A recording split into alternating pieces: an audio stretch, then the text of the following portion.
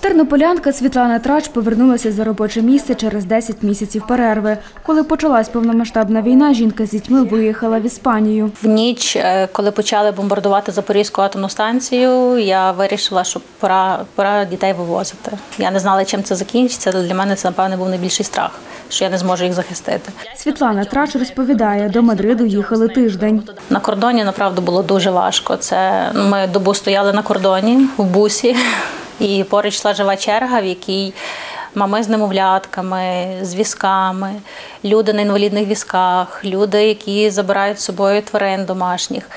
І це все е, взимку, мороз на вулиці, ніч. Ну, картина дуже страшна. Сини Світлани, 11-річний Ярослав та 6-річний Остап навчалися у двох школах – іспанській та українській. Paso, equipito. Вони на стаціонар ходили в іспанську. Навчання тривало до 6-7 години вечора, продовжувалось потім е, спортивними секціями. І додому ми приходили в 8 біля 9 по київському часу. Е, В українській школі не було можливості поєднати з якимось онлайн-навчанням, і ми перейшли на сімейну освіту. Це передбачало, що мама займається з дітьми по програмі шкільній, всі предмети, і вчителям ми здаємо тільки вже готові написані контрольні, якісь виконані завдання. Я сам більше скучав за татом. Я хотів би поїхати в Іспанію в гості, але жити в Україні. У Тернополі жінка працює візажисткою. Каже, за кордоном роботи за покликанням не знайшла. Довелося багато що вчитися наново. Наприклад, е, коли йшла доглядати дітей, мені довелося навчитися готувати їхню кухню, яку я раніше взагалі ніколи деякі страви, які мені давали просто рецепти, я не знала, як вони мають виглядати навіть на виході, що має з цього всього вийти.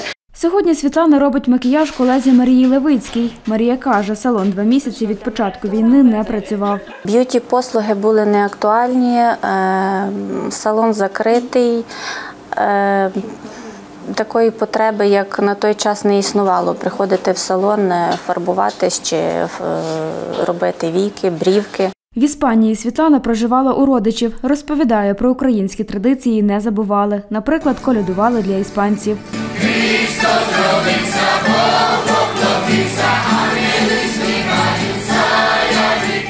Перебування в Іспанії можна назвати станом відчуття золотої клітки, бо довкола тебе все дуже гарно, але всередині пустота, яку може заповнити тільки повернення, тільки рідний дім.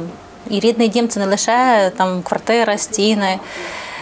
Е, Тут саме повітря інакше, Це сама атмосфера. Тут реально ти виріс, народився, виріс, е, тут твої близькі, тут свої люди. І ну, моє місце тут. Я це відчула з першого дня, коли повернулася, і напевне з першого дня, коли поїхала туди. Анастасія Кисіль, Оксана Галіяш, Суспільне новини, Тернопіль.